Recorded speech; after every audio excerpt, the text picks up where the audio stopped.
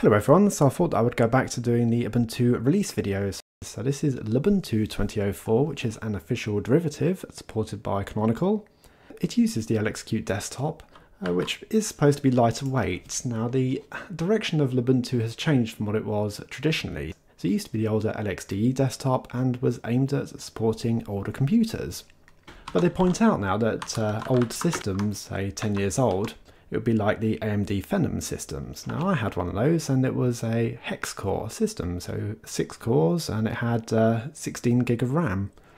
So what would they look at supporting? Now I know that system was a bit of an exception really, that had a lot of memory, but uh, even something 10 years old would, uh, would have had more than a gig of memory.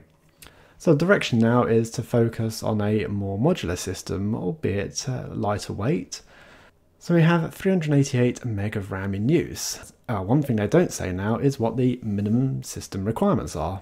Going with that figure, I would say about a gig. The LXQt desktop is based on Qt, or Qt as it's pronounced, which is a bit more unusual really. There's not many Linux desktops that actually use the Qt toolkit. There is a Plasma desktop, KDE Plasma, there's Lumina and LXQt, and uh, yeah, that, that's about all I can think of really. So this was the blog where they said about changing direction. So yeah, that, that's fair really. I mean, it's going to be difficult to support older systems now with Canonical dropping 32-bit support, although they're continuing to support 32-bit libraries and Steam. This version of Ubuntu is using the Linux 5.4 kernel, and there's better security protections in this kernel, although I've said about that so many times in my other Ubuntu reviews, I'm sure you're getting a bit bored of it. There's one thing I will mention is there's no direct upgrade from Lubuntu 1804 because that used LXDE. I suppose it could be done, but they advise against it. So yeah, the advice is to do a new install. But I believe it's possible to upgrade from the older 1910 release, as that also used LXQt, so there's not too much of a difference of uh, dependencies and pre-installed applications. And talking about pre-installed applications, well, most of them are Qt based, we do have some of the KDE applications, KCalc, although we do have some lighter weight equivalents. Now, I disregard some of the applications I've got on here, so I, will mention uh, some of the things I've installed later on in the video, but uh, yeah, one of the lighter weight applications here is PCManFM. File Manager, it's uh, fairly feature rich, got tab browsing, doesn't have the terminal integration that Dolphin has, but pressing F4 does open terminal into the folder that you're currently in. So if I go across to documents, then yeah, pressing F4 opens up a terminal to the documents folder. You can have unique settings to each folder. So on that folder I've gone for a detailed view and the other folders I'm still using default uh, icon view. And displays a thumbnail view by default we can see they've certainly shied away from being a release for older distributions uh, by including LibreOffice instead of the lighter weight equivalents. Looking at rendering of a variety of application types, so we have gedit here. not, not so sure that looks uh, perfect, but um, then again, do uh, the GNOME applications really look perfect with that uh, bloated window title bar with the menus in it? Not in my opinion, but uh, my opinion, of course. I've installed a couple of snap-based applications. So I've got GIMP when it opens. Uh, we've got uh, Inkscape when it opens. Yeah, GIMP goes for a darker background. Good one. Um, yeah, that, that, that's how it looks anyway. Uh, Inkscape, so that uh, has taken the system theming not, not sure why that uh, orange line is there, but um, otherwise that looks uh, reasonable. We've got uh, Kdenlive. Kdenlive, Live, installed that through a snap. Although I could install it natively. Why not mess around with the different uh, application types? So yeah, let's see how those look. Uh, yeah, th that looks fine.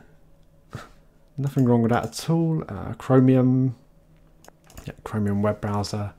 We're forced to install Chromium as a snap now in Ubuntu, thanks to the to snap transition. Again, this looks fine, so I'd have to say, in comparison to the KDE Plasma desktop, there's really no difference. They're rendering the applications I suppose other than this slight difference on Inkscape, that they're rendering pretty much uh, equally. You've got a consistent styling here, got the same mouse cursor throughout the Snap and non-Snap applications. So yeah, if you can use it and not notice a glaring difference, then it's good. Although thinking about it a bit further, perhaps the Plasma desktop does do a slightly better job on the GTK applications. But now for some of the annoyances that I've noticed. So looking across at say PCManFM and let's say I want to go across to an SSH server. So let's just go to SSH, uh, which one should I take? Um, Melina.tzd, my DNS server, and we get, yeah, okay, can't verify the identity. This happens when you log in to a computer for the first time. That, that's absolutely fine we would expect this for SSHing to a computer for the first time. So I go for login anyway, and it says login dialog cancelled. Great, thanks. the specific location is not mounted. I know, but I'm trying to mount it. So if you let me connect to it, um, I would appreciate it. Uh, and it's the same story if you go via the connect to remote server. So if you go this way, yep, same again. But if I connect to a system that I've already connected to uh, via SSH, and yeah, I've accepted that uh, warning, it, it works fine. And I can connect to the server. Yeah, there's something not quite right there with PCManFM. It, it should allow me to continue. And for another annoyance, well, there is a searcher provided in the application menu, and I think great. Um, seems nice to use. I can open up Terminal, select an entire word, delete it. Uh, but say if I want to install a new application, well, I want some software, don't I? All I've got is software sources. Okay, what, what about applications? No, it, it's not there. So if I'm doing a vague search on the subject of the application I'm after, it, it doesn't pick anything up. I was thinking, oh, maybe they didn't include anything until I tried doing sudo apt install muon, and uh, lo and behold, it was installed by default. it's like, great. Uh, okay, um, so, so, what about something fancier? I mean, I could have installed Discover, couldn't I? Oh, no, wait, I didn't need to. It's already installed on the system by default. It's like, great. You know, the, the applications are there, but I couldn't find them via a subject search. I had to search for the name specifically. And yeah, I think the only reason terminal worked there is because it's called QTerminal and it's picking up that part of the word. As I mentioned earlier, there is a push from Canonical to utilise snap-based applications over the deb packages.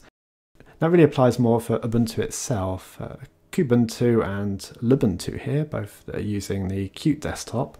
They favour deb packages first. So let's say if I search for VLC, an application that is already installed by default. So the first result here is for the deb package it's not obvious that it is, but uh, if I scroll down here and go for the one that's further down the list, we can see that it is a snap-based application there. That's been a similar story all round. Uh, unless you're looking for something that's only a snap-based application, then yeah, that, that's all that you'll find. So the Raspberry Pi Imager, for example, that is a snap, and there is no deb package for it. I've been happy enough using Discover, it's interesting they didn't utilise Discover for the updates. Instead, we've got, uh, I can't even find it now. Oh yeah, apply full upgrade. Here we are. Uh, yeah, so I can go for this route and I get the uh, sudo dialog box here, which honestly just looks awful, doesn't it? or do I get attempt number two? Does it count up? Yes, it does. Yeah. So their upgrader is um, somewhat basic. But I suppose if you're going for lighter weight, then you're going to have basic with lightweight. Looking a bit at customization, so the configuration of moving a panel, so that, that, seems fairly straightforward. I can move these panels around to different parts of the desktop. Obviously I have to change the uh, sizing there to make it look a bit nicer. Yeah, it doesn't look great though. I, I would prefer an iconified view at this point, something which uh, Plasma desktop does automatically. Uh, we can look at further configurations or preferences. In the LXQt settings, we've got a variety of items here. But I'll go for the LXQt configuration center. So all I think all those items are listed here as well. Looks pretty similar anyway. Looking at window effects, so it's changing the effects you can use on the Compton renderer. The appearance. Appearance, a bit more of a basic view than you would get in Plasma. Yeah, very much a basic view and there's no easy way of downloading new items. Um, I'm, I'm, comparing it to Plasma quite a bit, but uh, yeah, it's probably like the, the closest comparison really. I might as well look at a couple of different Qt desktops rather than going across to GNOME desktops. So yeah, there's options here for customization. As I said, it's not quite as plentiful as the Plasma desktop itself. There's a screensaver. That's a nice little throwback there. I don't like this full level of detail that you get for some applications. Why do I need to know the version number and date that it was released? That's not important to me. I, I just want this as screensaver preferences. Don't need to be anything else. Keep it simple. So overall, I have to say that Lubuntu has worked perfectly well here. I've not seen a single sign of a crash. All the applications have uh, opened up although I did have an issue installing the Snap version of Audacity due to a missing theme on there. I did try and install the GTK2 theme it required, but didn't exist, so I had to pass on that. What I was disappointed with though was the performance of opening applications. I don't think it's quite as snappy as it should be. It just feels very sluggish on the application opening and I feel like I'm having to wait a few seconds longer than I really should. Once the applications have opened though, they seem to be perfectly fine and responsive. It's just that initial opening, and it doesn't seem any different whether I'm using a deb package or a snap package. In fact, they seem about equal on opening speed. It's nice to be able to install the native versions of the KDE applications, but uh, in the end, I can't help but think I, I, would rather be using the Plasma desktop. It just uh, seems more responsive, the searcher is better, the searcher even looks at documents, not just programs and the searcher in the Plasma desktop does find applications by subjects, because when I typed in software it did list Discover in the results. Missed out Muon, but Discover was there, which was uh, the important one really, a software installer. So that was a look at Lubuntu 2004. Thanks for watching, I'll see you all later.